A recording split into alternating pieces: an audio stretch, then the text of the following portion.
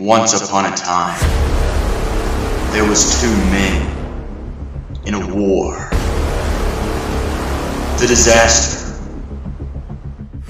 and the Russian Volchi. These two battled it out for two years, two long years. The disaster would fight. The Russian would fight back. And the sad thing about it all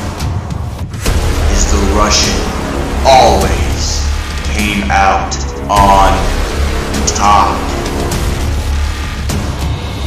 Time after time again, the Russian beat the disaster. Will disaster get his revenge?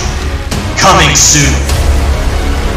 The owner of DRW, the disaster,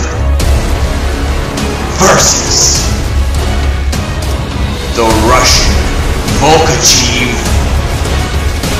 king of the rivalry.